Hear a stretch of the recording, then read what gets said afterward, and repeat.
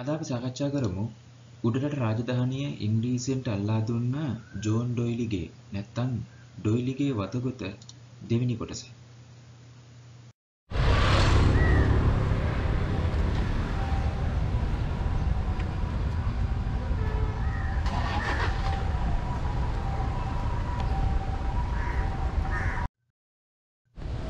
මේ තියෙන ගැරිසන් සුසාන භූමියේ දේහ මිහිදන් කරන්නට කලින් අතීතයේ ක්‍රිස්තියානි පූජකවරයෙක් විසින් මෙන්න මේ ගොඩනැගිල්ල තමයි ඒ දේහයට අවසන් කටයුතු කරලා තියෙන්නේ.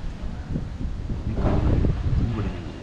මේකේ ඇතුලේ ඒ අවසන් කටයුතු ආගමික කටයුතු කරලා තමයි ඊට එහා පැත්තේ තියෙන ගැරිසන් සුසාන භූමියේ මිහිදන් කරලා තියෙන්නේ.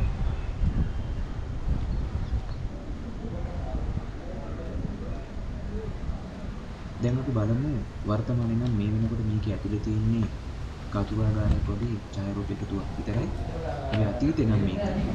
ඒ ආගමික කටයුතු සිදු කරපු ගොඩනැගිලි තමයි පාවිච්චි කරන්නේ. නිරාකින් මාවුදේ තියෙන සමත් ටික. ඔව් ඒක ලස්සන. ඒකයි මේකයි සම්බන්ධයක් නැද්ද? සම්බන්ධ තියෙනවා.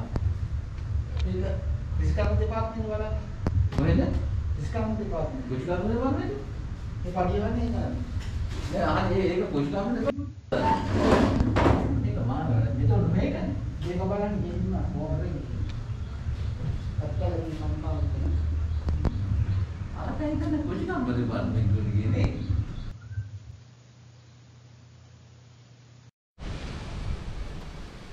අපි දැන් මේ යන්නේ දළදා මාලිගාවේ පිටුපස තියෙන සුවිශේෂී සුසාන භූමියක තොරතුරු හොයලා බලන්න.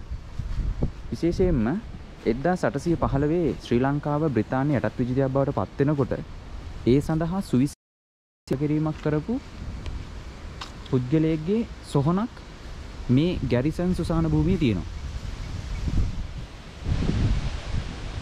ඔබ දන්නවද මේ සුසාන භූමියේ තියෙන විශාලම ස්මාරකය හදලා තියෙන්නේ ඒ සුවිශේෂී පුද්ගලයා වෙනුවෙන්.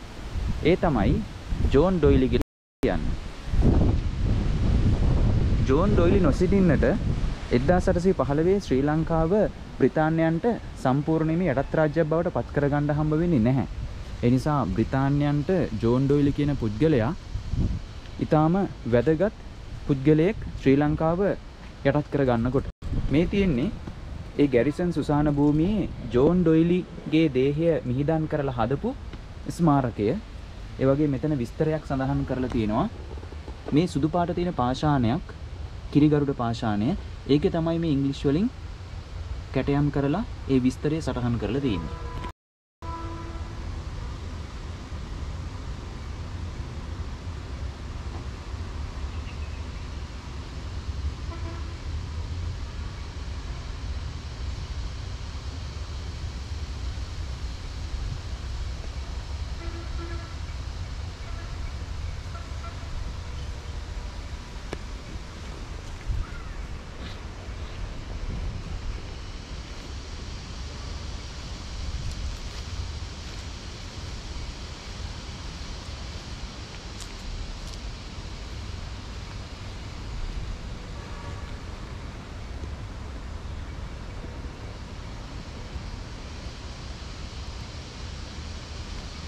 ඒ වගේම ඒ කාලය තුල නොයෙක් බ්‍රිතාන්‍ය ජාතිකයන්ගේ සොහොන් මේ ස්ථානයේ දකින්න තියෙනවා. අදටත් මේ සොහොන ආගන්නේ බ්‍රිතාන්‍යයෙන් අනුග්‍රහය ඇතිව. බ්‍රිතාන්‍යයෙන් තමයි මේ සොහොන බලා ගන්න අයට වැටුප් පවා මේ සංරක්ෂණ කටයුතු වලට වැටුප් ගෙවන්නේ මුදල් ගෙවන්නේ ඒ බ්‍රිතාන්‍යයන් විසින්. ඒතර අදටත් ඒක ඒ විදිහටම ක්‍රියාත්මක වෙනවා.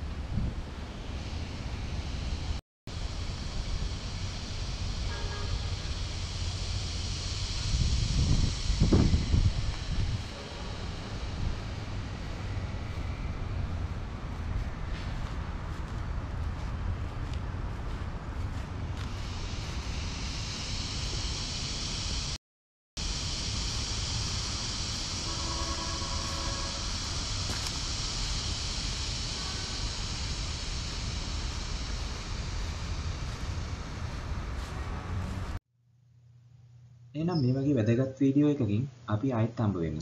ආයුබෝවන්.